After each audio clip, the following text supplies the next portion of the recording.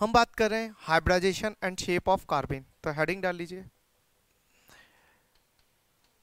Hybridization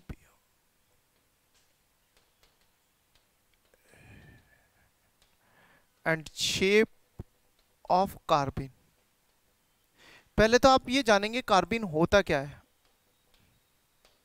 देखिए। कार्बिन क्या है? डेफिनेशन हम इतना तो जानते हैं कार्बिन में कार्बन की कितनी वैलेंसी होती है फोर तो लिख लीजिए carbon have four valence electron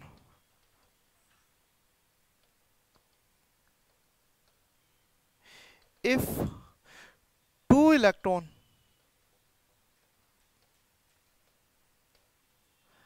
generate bond remainder two.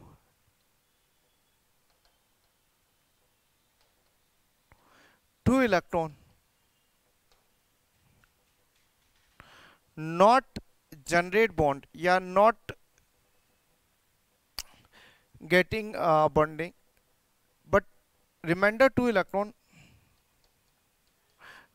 Not generated bond then it called carbene तो कार्बिन हमारे लिए क्या है? हम कार्बिन की बात करते हैं तो ये कार्बिन है। दो इलेक्ट्रॉन ने बॉन्ड बना लिया और दो इलेक्ट्रॉन अभी भी हमारे पास रखे हुए हैं। तो ये कार्बिन है।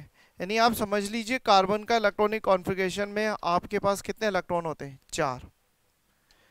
तो ये एक, दो, तीन चार, जिसमें से दो ने बॉन्ड बना लिया और दो नहीं बना पाए। तो टू आपके पास क्या है? बॉन्ड है। और टू अनबॉन्डेड है। तो इसको आप क्या बोलोगे? कार्बिन तो कार्बिन हमारे पास है ये। तो क्या कार्बिन का क्लासिफिकेशन कर सकते हैं? हाँ। कार्बिन दो तरह की होगी।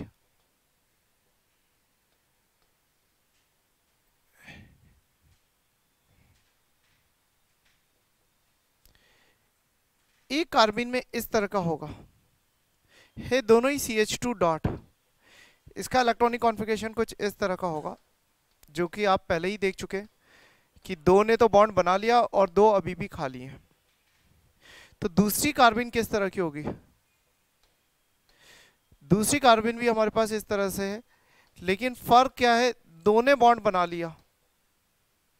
ये दो ने बॉन्ड बना लिया और दो ने एक ही ऑर्बिटल में जगह प्राप्त कर ली लाइक दिस ये तो बॉन्ड बना लिया।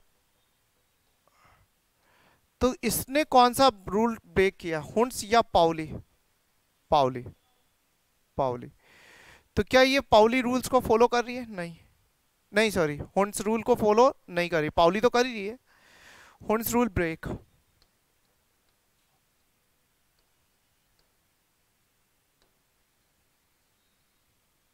पाउली तो हर जगह लगता है। हुंस रूल फॉलो तो फ़र्क क्या बनेगा? ये कार्बिन स्टेबल है मोर स्टेबल और जब ये ज़्यादा स्टेबल है इस कॉल्ड इसको हम क्या बोलेंगे? इस कॉल्ड कोल्ड कार्बिन देखिए, दोनों ही कार्बिन अनस्टेबल है, देखा जाए तो। लेकिन दोनों में कौन ज़्यादा स्टेबल है? ये। Relatively less stable and it is called and it is called hot carbon.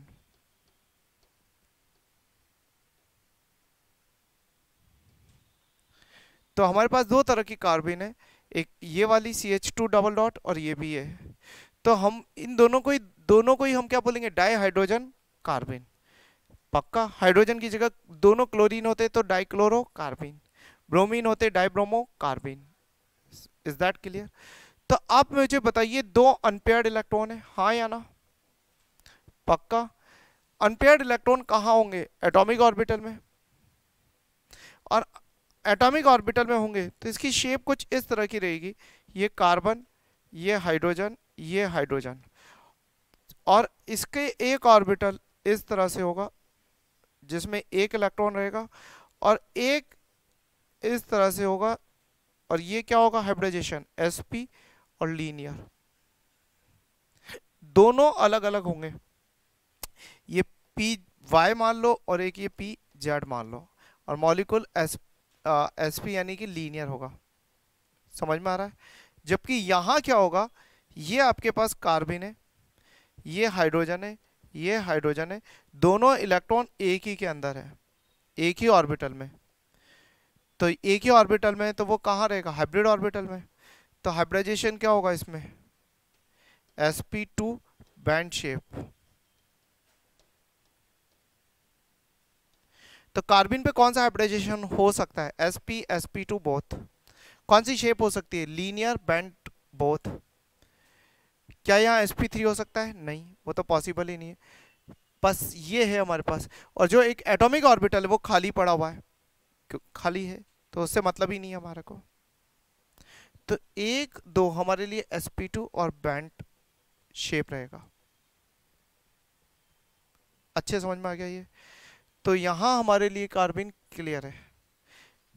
Hybridisation तो कार्बिन के लिए आपको छोटा सा पॉइंट आ गया साहब आप लिखें इसको।